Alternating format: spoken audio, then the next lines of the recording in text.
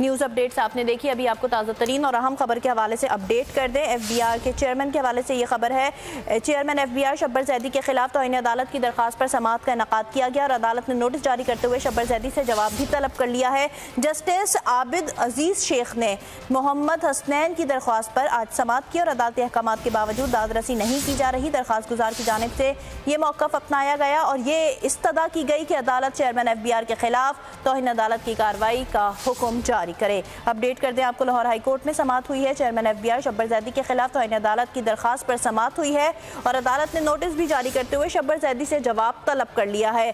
Justice عابد عزیز شیخ نے محمد حسنین کی درخواست پر سماعت کی۔ عدالتی احکامات کے باوجود داد رسی نہیں کی جا رہی۔ درخواست گزار کا یہ کہنا تھا۔ درخواست میں یہ استدا ہے کہ عدالت چیئرمین ایف بی آر کے خلاف توہین عدالت کی کاروائی کا حکم جاری کرے۔ لاہور ہائی کورٹ میں اس کیس کی سماعت کے حوالے سے آپ کو اپڈیٹ کر دیں۔ Chairman F B R Shabbar Zaidi کے خلاف توہین بین عدالت کی درخواست پر سماعت کا انعقاد کیا گیا اور عدالت نے نوٹس بھی جاری کر دیا کہ شبر زیدی سے جواب مانگا کیا اور جسٹس عابد عزیز شیخ نے محمد حسنین کی درخواست پر سماعت کی ہے۔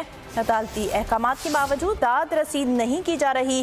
درخواست گزار کی جانب سے یہ کہا گیا۔